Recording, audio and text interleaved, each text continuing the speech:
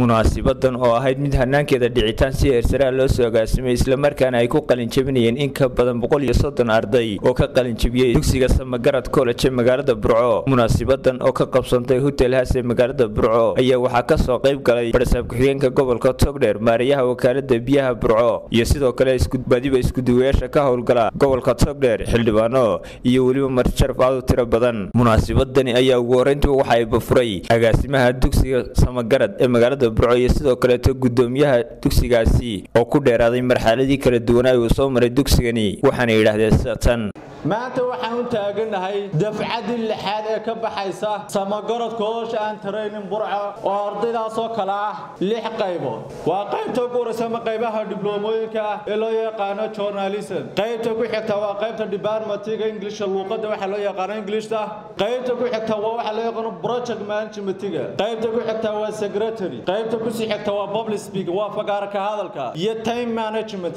sida loo maareeyo waqtigaaga marka taa laga yimaado maanta hal dardaaran uunbaan sii siinayaa ardayda qalin jabinaysa.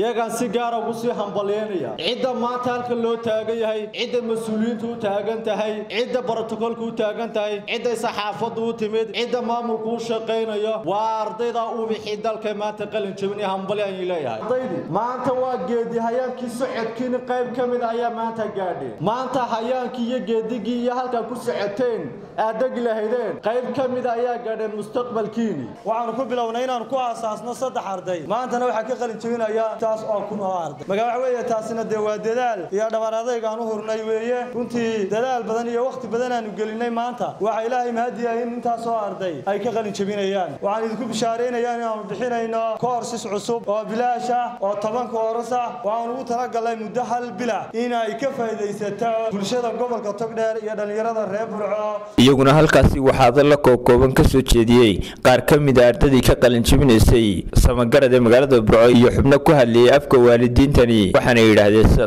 waxaan hambaleynayaa dhammaan ardayda qiimaha badan sidoo kale waxaan aad iyo aad ugu mahadcelinayaa dhammaan soomaaliyaasheeda barnaamijkan dhammaan jabinaysa waalidiinta waxaan idin leeyahay. Idinkuna halkaa maanta himila gaadheen. Waxbarashadiinni ma idin dhammaysan laakiin iyooyin qaar ka mida ayaa gaadheen. Halkaa ka sii wada. Geesta kale iyaguna waa halkaasi hadalka iska daba qaatay. Maariyaha wakaalada biyaha qaar ka mida iskuduwayaasha wasaaradaha kala duwan ee gobolka togdheer xildhibaano oo dhammaantoodba bogaadiyey ardaydan ka qalin jabinaysay iskuulka samagarad ee magaalada burco iyo macalimiintii wax soo baray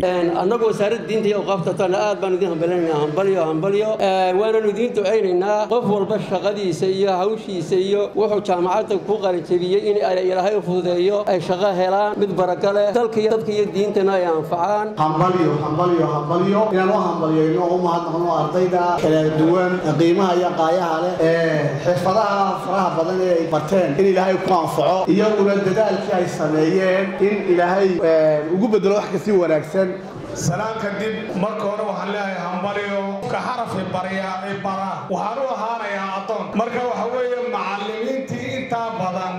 Dugsigan ama koolajkan maxaadaayay samagar taa salaanta maxaadaay cuda gaadhsiinaya ugu dambayntii waxaa halkaasi hadalka soo afmeeray bogaadiyena dhallinyaradii kala duwaneed ee ka qalin jabisay iskuulka samagarad ee magaalada burco. Barasaab ku-xigeenka gobolka maxamed cabdilaahi ibraahim nafaqo oo la dardaarmay ardadii ka qalin jabisay dugsiga samagarad. Oo u baarigaya ardadan qalinka jabisay ee boqol iyo dhowr iyo soddonka ah xirfadaha kala duwan iyo aqoonta kala badan kala duwan ay barteen. Ilaaha idii barakeeya ayaa leeyahay. Laakiin maalin walba every waxaa qalin jabiya intaasoo aqoon-yahan oo aqoonta qaybaheeda kala duwan ka qalin maxaa iyaga loo dareemi waayey aqoonta ay barteen ama isbeddel ay ugu samayn waayeen waa su'aal meesha ku jirta. Waxaan rajaynayaa insha allahu tacaala ardada quruxda badan ee saaka ee hor fadhida.